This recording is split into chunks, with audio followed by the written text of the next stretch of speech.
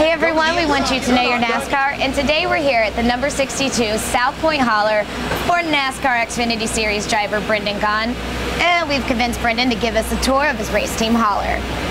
Let's go, come on. From home. Um, the guys, we travel 36, 38 weeks a year, and the guys, we live together and we travel together and we start out of course with the most important part if you look at the south point casino team which is we call ourselves team beefcake we actually stepped on a scale this week we are a ton of fun um, but so you start with the kitchen. So in the back, what'll happen all day long, you see we got snacks. We'll have our, our food laid out all day long. We don't get like a standard lunch break.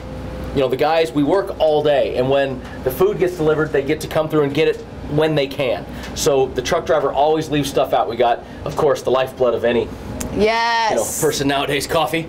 Yeah, exactly.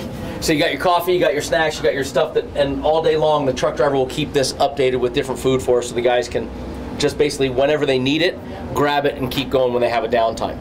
Um, you keep moving through the back. Now this is awesome, by the way.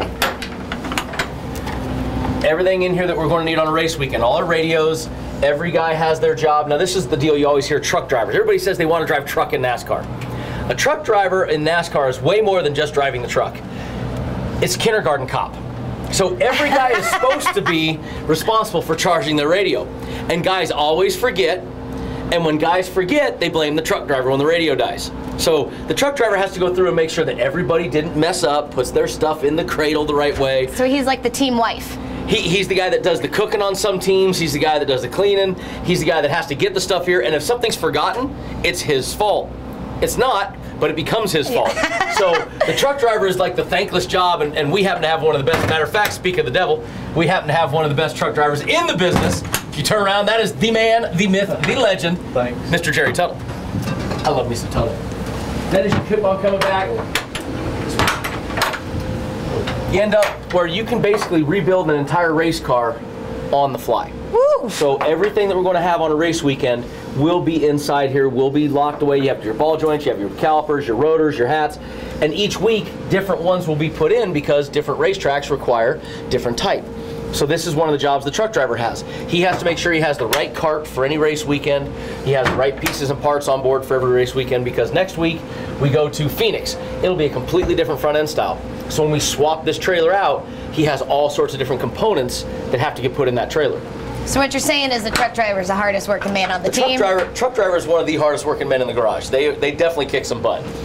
Then this is our shock cabinet. Those are all the shocks that we may have a chance to go through in a weekend. Most teams have a good shock guy. I got a guy that's just, oh, I mean, I've got one of the best shock guys in the business. Uh, hi, Mr. Beeson. Shocking. Shocking, yeah, shocking, shocking, shocker. So, but Shocker's job, you're just wrong. Shocky's job is to take the shocks. What happens is the crew chief will say what he wants. We want more compression, more rebound, more nose. We have all the stuff that we're looking to do. He will build the shocks, and most of them are pre-built for this race weekend. Then we test them on our shock dyno before they hit the racetrack. So we're always going to check to make sure that what he built was correct. And this is what this piece of equipment does. He has his computer here. It gives him a computer di- a, a graph. He shows the crew chief says, "This is what we want," and we know that it's right. And they put it back on the race car. Um, as all Team Beefcake starts showing up. Hi, Hey boys. team beefcake. Tell by the way, the He shop guy, lying. he's got to use weight. He's got to gain weight. He's the light guy on the team. We're a little upset with him.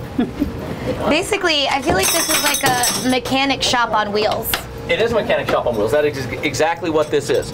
So we can rebuild everything we have here. This is my my helmet cabinet. So what happens is my there's fans underneath here. After the race, these are two of mine that I, I use intermittently throughout the season. My Georgetown and my uh, my military helmet, So they don't stink. so they don't stink. Little dryer sheets in them. You know, we got to make sure they still stay fresh.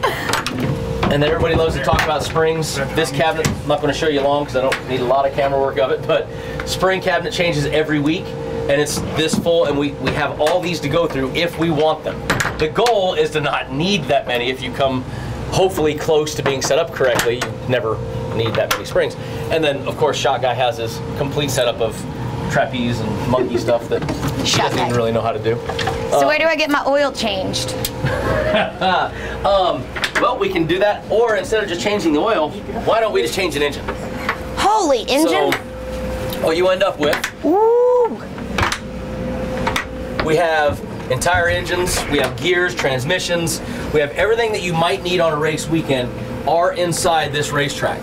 So if we need a spare engine, which if you need a spare engine, it's a bad day. Let me throw this back in here. But Yeah, tuck that baby in.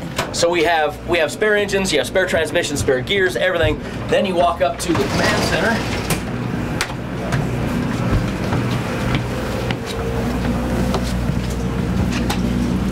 This is the lounge area. What happens, you have your engineer over here, you'll have your crew chief here, you'll have all our timing and scoring on one computer. We'll be watching practice from here.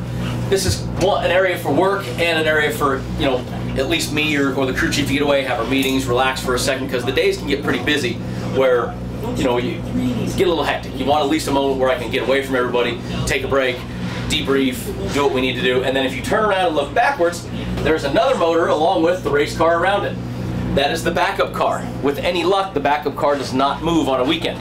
If that car moves, it means bad things have happened. So that car's job is to stay right there, look pretty, but it is completely ready to go. It has the setup from this weekend, it has the, a motor in it, it has everything in it. So we have three motors per team at RCR in each trailer. So this is the 62 hauler. We have my backup car, my primary car, and that spare motor. All five of our race teams have three motors in them. That's how much money it costs to run this sport. Each motor is not cheap. And each team has three motors basically in the backup car, in the primary car, and sitting in their hauler. So we come with 15 motors. What's the average price of a motor? Uh, well, you really can't buy them. So mo- if a team goes to lease them, you can lease them for anywhere from sixty to eighty thousand dollars a lease. Um, RCR owns theirs, of course, because they own the engine shop with ECR engines.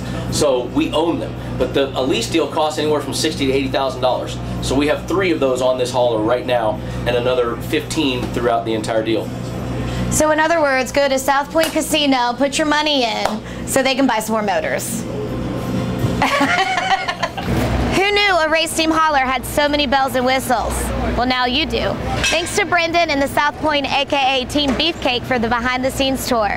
Until next time, I'm Brittney Cason, wanting you to know your NASCAR.